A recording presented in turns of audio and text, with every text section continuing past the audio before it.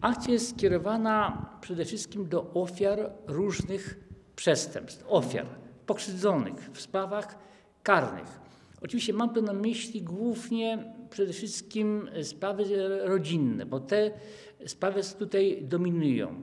Zresztą osoby pokrzywdzone w sprawach rodzinnych bardzo często są osobami biednymi, których nie stać jest na jakąś zawodową pomoc prawną przez ustanowienie sobie adwokata. Choć pokrzywdzonym w sprawie karnej może być również biznesmen, którego oszukano w interesach. W związku z tym no, nie, nie będziemy przyjmować również takie y, osoby. Niemniej jednak te osoby, które y, prowadzą określone firmy, zazwyczaj nie są osobami biednymi. Y, bardzo często mają przecież ustanowioną, że tak powiem, opiekę prawną w postaci ustanowionych adwokatów, którzy reprezentują ich interesy i te osoby sobie swobodnie radzą. Niemniej jednak oczywiście, jeżeli mówimy o ofiarach przestępstw, to musimy mówić o różnych ofiarach przestępstw. Prawda? I w związku z tym nasi kuratorzy są tutaj przygotowani do udzielenia stosownej informacji. Natomiast gdyby trzeba było jakichś specjalistycznych informacjach w jakiejś dziedzinie sprawy, no to jest biuro obsługi interesanta obok, które e, udziela e, informacji niezbędnych dla e, danej strony i które, i które te informacje są oczywiście udzielane nieodpłatnie każdemu.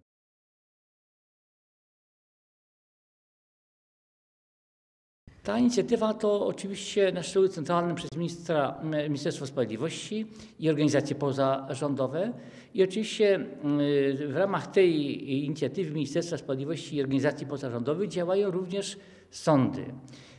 Mam informację, że do tego dnia ofiar przestępstw włączyła się również prokuratura, włączyła się również adwokatura, włączyli się również komornicy, włączyły, włączył się również e, notariat, e, szereg instytucji na szczeblu e, centralnym, które w zakresie swojej działalności udzielają stosownych informacji, głównie ofiarom przestępstw. No, doświadczenie nasze jest takie, że bardzo często przychodzą do nas osoby, które nie są ofiarami przestępstw, a przy okazji chcą zasięgnąć informacji w jakichś sprawach, które ich interesują. No to tych oczywiście też nie odsyłamy z niczym. Tylko w ramach możliwości kuratorzy będą udzielać informacji, względnie będą przekazywać ich do biura obok, to jest biuro obsługi interesanta, gdzie pracownicy są podzieleni wedle specjalizacji orzeczniczych i w zakresie swojej specjalizacji będą udzielać informacji, co określona osoba, jakie wnioski, jakie dokumenty może złożyć, żeby rozpocząć stosowne postępowania. Wszystkie te informacje są oczywiście informacjami nieodpłatnymi.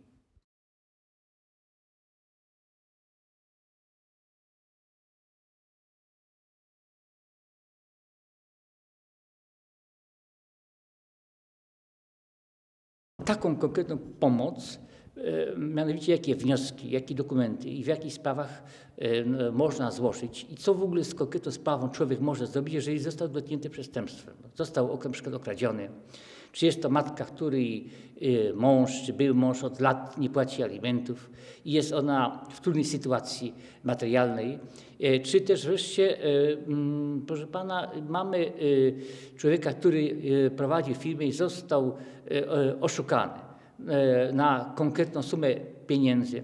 W efekcie firma jest zagrożona upadłością, bo określone wpływy do jej kasy nie wpłynęły.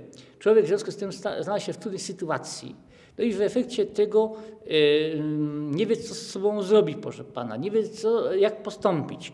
Nie każdego i w każdej sytuacji jest stać na fachową obsługę prawną, która przecież wiadomo, że, e, e, że kosztuje.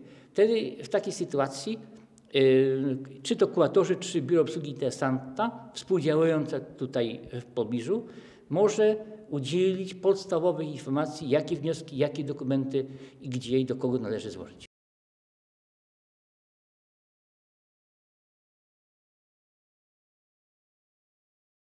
Udzielamy informacji, oczywiście nieodpłatnie, wskazujemy. No, są pewne czynności, których rzecz jasna za strony nikt nie załatwi. Kurator nie może być pełnomocnikiem strony w konkretnej, e, w konkretnej sprawie. Kurator może e, działać e, oczywiście w ramach postępowania już wszczętego, ale określona osoba musi rozpocząć to postępowanie. Może złożyć stosowny wniosek. E, na przykład na policję czy, czy w prokuraturze. Już wspomniałem tutaj, że e, szereg innych instytucji się e, w to włączyło, między innymi również i Komenda Policji.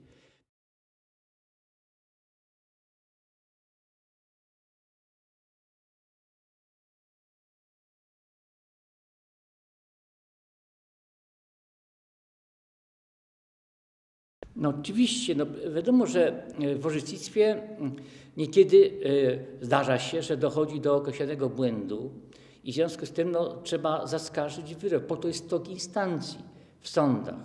Przecież nie ulega najmniejszej wątpliwości, że orzeczenia są kontrolowane przez sądy wyższej instancji.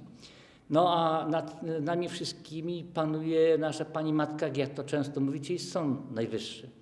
I teraz, jeżeli przychodzi ktoś z określoną pretensją, z określoną skargą, a okazuje się, że ma rację, to należy go pouczyć, w jaki sposób można wzruszyć dane y, orzeczenie. Jaki wniosek, czy wniosek o przywrócenie terminu y, trzeba złożyć, czy też y, inny wniosek w konkretnej sytuacji, żeby mianowicie ten błąd sądu można było naprawić. Jeżeli oczywiście minęły już wszelkie terminy, no to oczywiście jest kwestia ewentualnej kasacji od orzeczenia. Do kogo kasację się wnosi i w jaki sposób. Że co prawda kasację musi sporządzić adwokat, ale trzeba pouczyć określoną osobę, że ona może wystąpić o ustanowienie adwokata z urzędu i sąd ustanowi takiego adwokata z urzędu, który wniesie kasację od konkretnego y, orzeczenia. Żeby taką kasację wnieść, no, to człowiek, strona podstępowania musi o tym wiedzieć, y, do kogo się wnosi kasację i kto taką kasację mo może wnieść i na jakich warunkach.